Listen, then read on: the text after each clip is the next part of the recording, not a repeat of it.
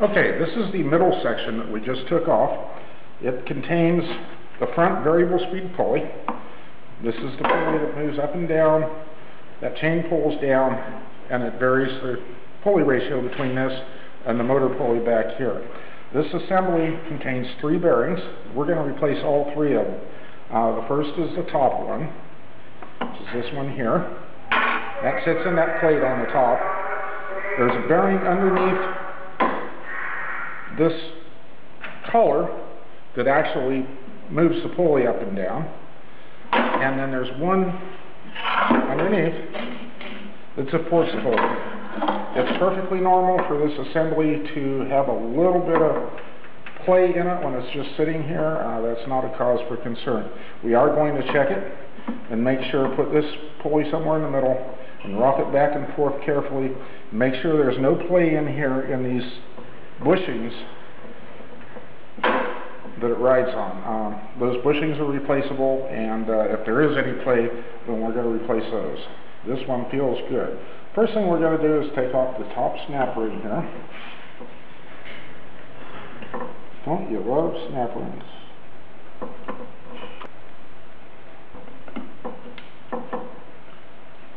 Okay, you can slide this pulley off.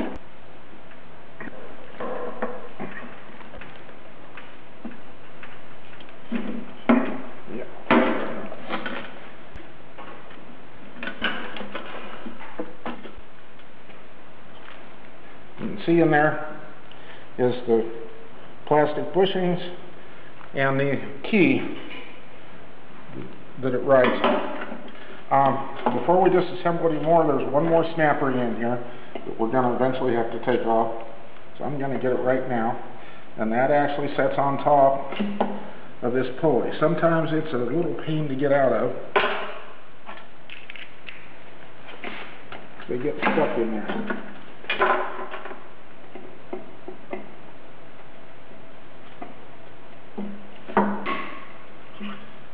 Second snap ring. Now this entire assembly is held to the frame by two screws. So we're going to take those out.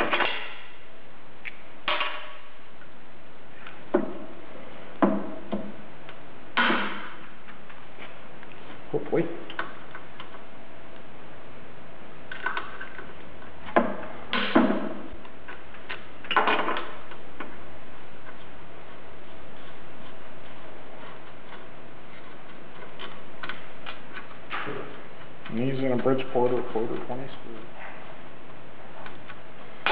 Now, I'll take the rest of the pulley right off of it.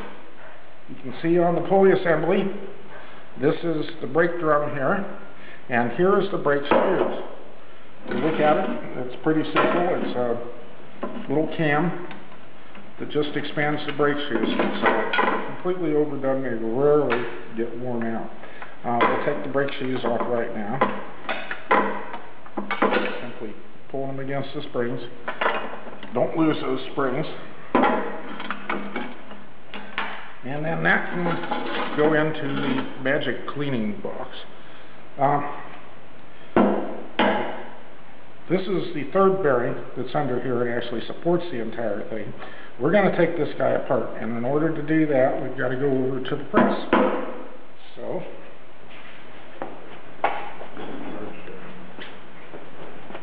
Okay, we're over here at the press. We're going to press this shaft out of this entire assembly. Now it is a press fit in both this pulley and the bearing down here. And the easiest way to start tearing this apart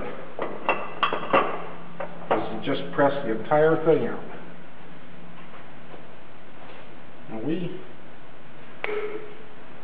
use this press for all kinds of stuff, so it's, rather than adjusting it, we just stack stuff up on it it will come right out. Go crashing out.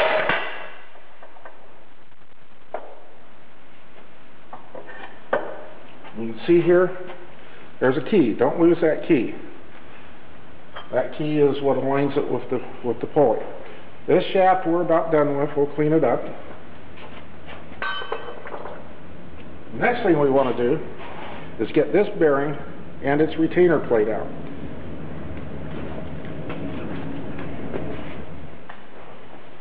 Okay, back over here, and I lied a little bit.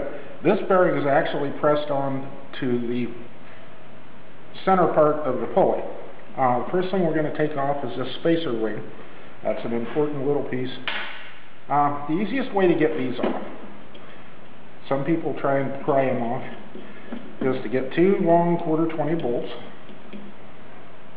and screw them in these mounting holes. The mounting holes actually go all the way through.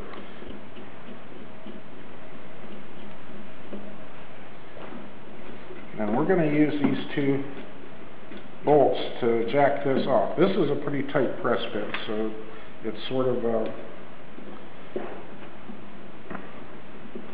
little bit of a, I screwed that all the way down. Sort of a little bit of an adventure. But it's a lot less violent than any other. And eventually it will come off. Since it's a tight fit, you're not going to be able to very much before we go to the other side. We're just going to sit here,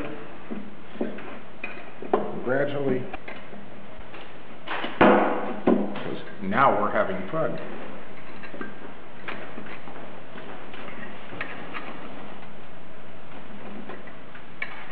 We are making progress.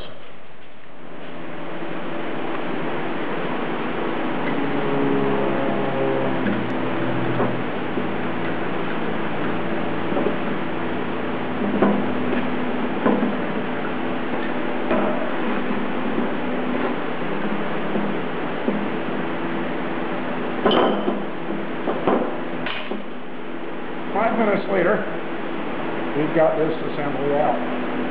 See the surface it's pressed onto.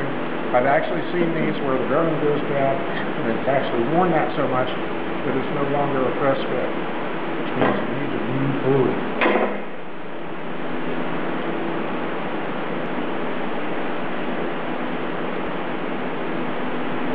screws back.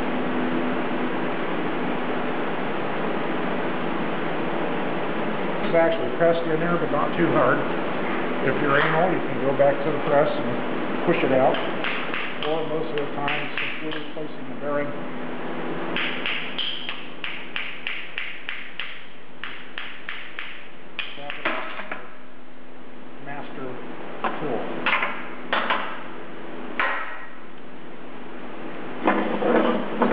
Getting there. Now we gotta get this guy off. And this, there is no easy way to do.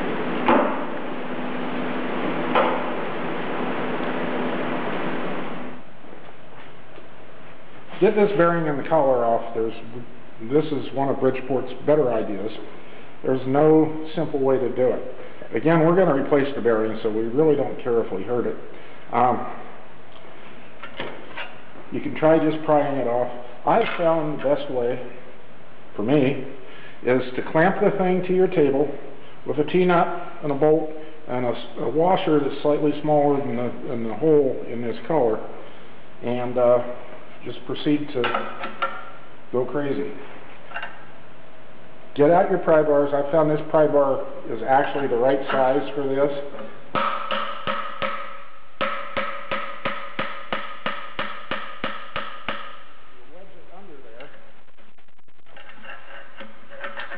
With your main tool.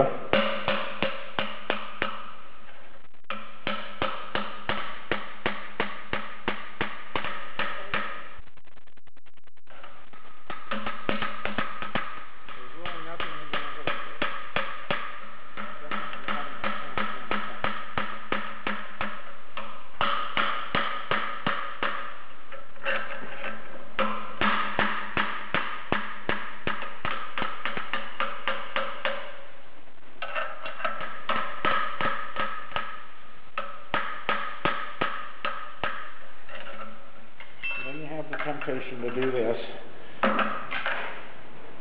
Sometimes it works.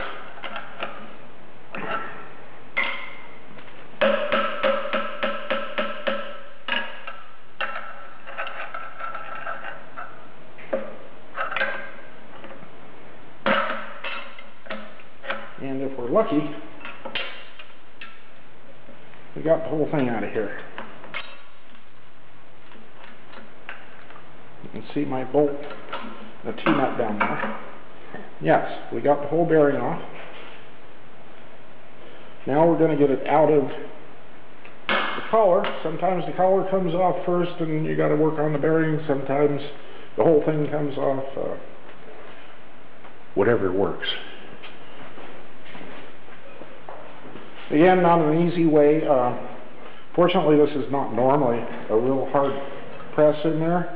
Um, the tool I use, I got it at a garage sale, It's just a big old offset screwdriver. And if we can manage to get it between the two parts, get the hammer out. And this method actually works for a lot of situations like this.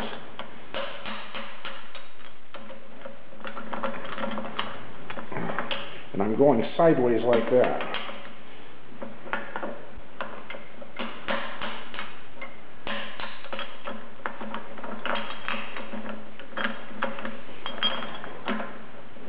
If you got a better method to do this, drop me a comment or a note.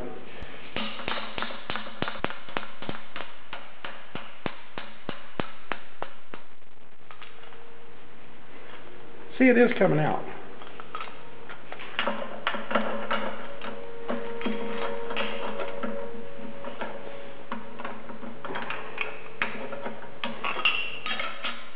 You. The bearing is history. Of course, we want to save that. That's it for the disassembly of the middle section. Uh, we're saving the most fun part for last. Uh, see you next time.